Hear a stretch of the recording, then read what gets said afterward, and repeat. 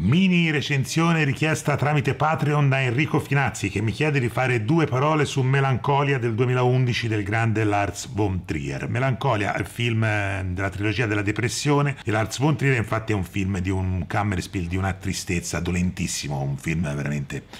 esistenzialista fino a, a, all'ultimo secondo. Un film meraviglioso che narra appunto la storia di Justine che subito appena sposata va in depressione, viene aiutata in questa depressione dalla sorella Claire, Justine e Christine Dust, la sorella Claire eh, Charlotte Gainsbourg. Intorno a loro gira tutta una famiglia, una serie di personaggi meravigliosi interpretati alla grande da, da Kiefer Sutherland, Charlotte Rampling, John Hart, eh, Skarsgård figlio e padre, insomma eh, un cast di tutto rispetto per un film fotografato in una maniera meravigliosa. E chiaramente dopo la melancolia è dovuta al fatto che appunto di questo pianeta che eh, si sta per appunto a quanto pare schiantare eh, sulla Terra.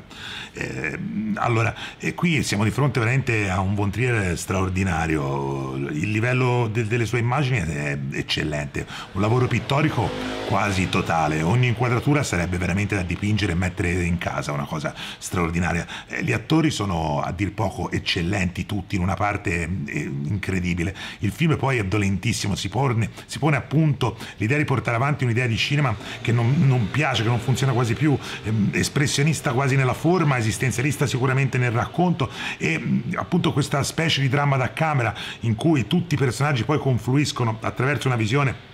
particolare appunto del catastrofico, chiamiamolo così questo film, dove il mondo sta appunto per essere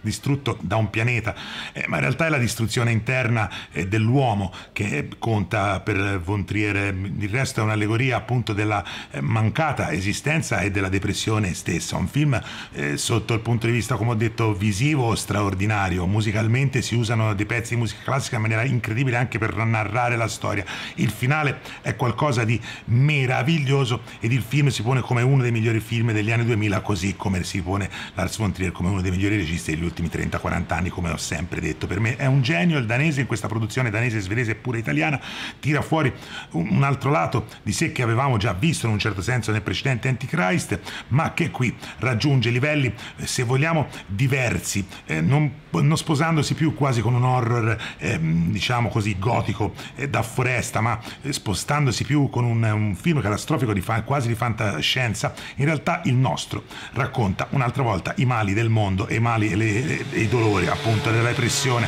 dell'ansia, della solitudine delle persone, belle, brutte, intelligenti o sceme che siano. Quindi un film straordinario, questa melancolia che chi eh, boh, non ha visto si deve di molto mettere i ginocchioni sui ceci e fare ammenda e guardarsela almeno 3-4 volte per capire com'è il grande cinema e qual è il cinema che tutti noi vorremmo vedere in sala più spesso, ovvero quello del grandissimo, grandissimo Lars von Trier.